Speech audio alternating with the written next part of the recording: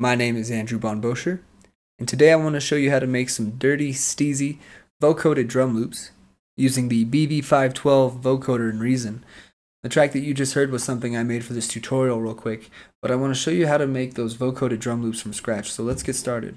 I do have a new project already created, and I did not copy and paste the notes from the previous project over to here just because I want to slightly explain what's going on and why we need a couple of note lanes to make what we want here. In my new project, I do have a new combinator already created, so just right click in your rack and create your combinator. And in the combinator, right click and let's create an instance of Dr. Octo Rex. Uh, but you can use any instrument you like for the uh, modulation aspect of the vocoder. It is completely up to you. There are no right or wrong answers. Make sure to click the arrow here to show the menu and right click on it and reset the device or initialize patch. Next, make sure to deactivate the enable loop playback so that way when we actually copy the loop to the track, it won't have phasing issues since it's not playing on top of itself. And in the first box here, click browse and I'm going to use a factory sound called TriPats here.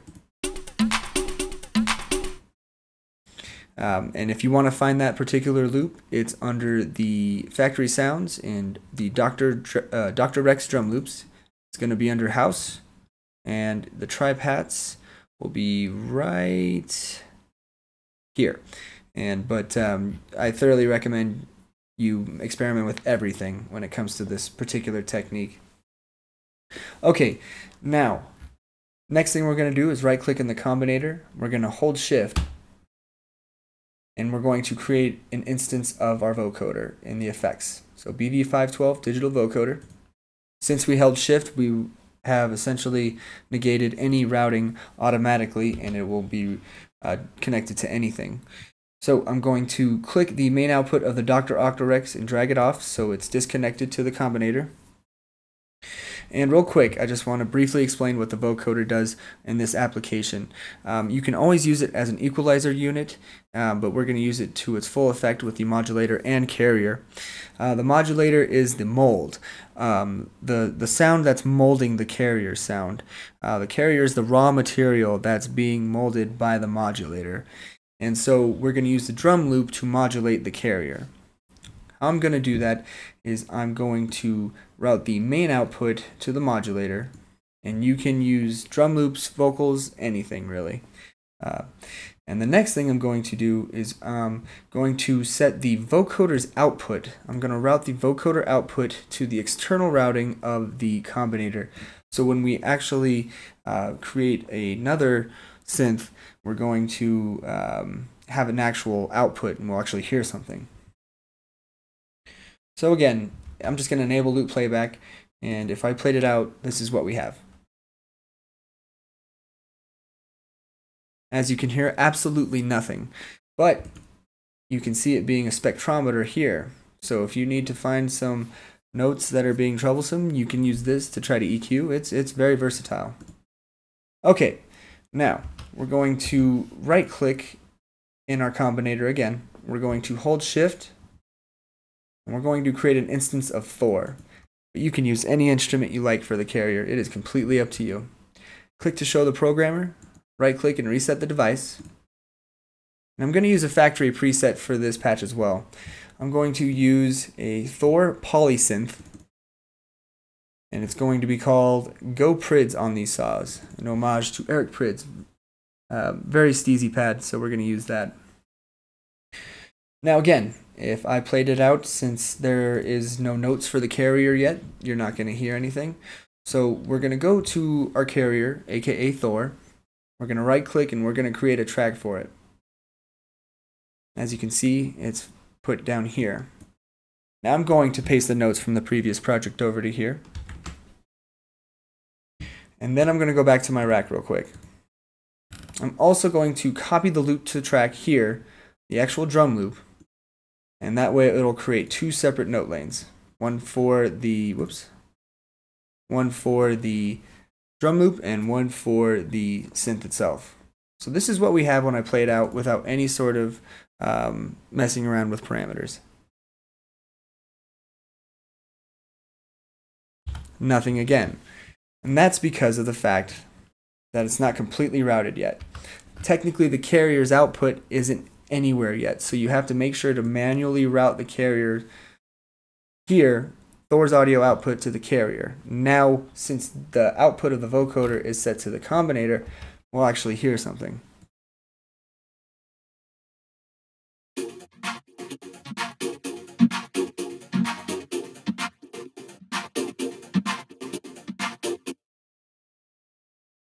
And as you can hear, what's happening is this drum loop is modulating the carrier's sounds and its chords. And I can make these chords longer, shorter, whatever I like. It all depends on what you want to do. So let's go back to our rack real quick. And this is where it gets fun because you can essentially use any of these parameters to at your disposal. I really like the bands because it basically makes the sound more detailed since it splits it up into higher bands of frequencies or you can do lower brand, bands of frequencies, like four bands, and make it some lo-fi steeziness. So let's keep it at four, and we're going to go to the shift here. The shift is basically just like the shift on a Maelstrom. It dictates the formant characteristics of the sound. Um, the higher you go, the higher pitch sound you'll hear, but it's not technically um, messing with the pitch. It's just uh, increasing the frequency, essentially. And if you lower it, you'll hear a lower frequency, almost like a filter somewhat. Somewhat. Uh, the high frequency emphasis here is essentially um, exactly what it says. The higher you put it up, um, the more of the higher frequencies of the carrier you'll hear. And it's always good to use carriers that are rich in harmonic con content, aka with you know a good representation of higher frequencies. Um, the dry wet is exactly what it says. It's um, how much the vocoder is affecting the drum loop. If I turn it down to 64 and we do half and half, this is what we have.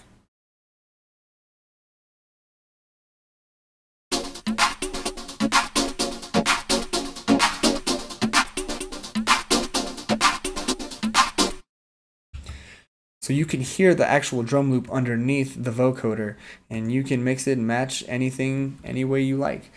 And so I'll keep the dry wet all the way up. The attack and decay is an envelope that essentially dictates um, how long it takes the vocoder to represent itself and how long it stays around. So if we turn up the decay and up the attack a bit, we can get some really cool sounds.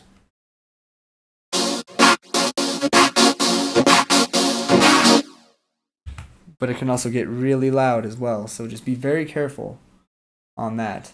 Now, um, the hold, it will actually hold a specific moment in the vocoder's time frame and it'll still play out the notes, but it'll hold that specific formant characteristic. So watch and listen.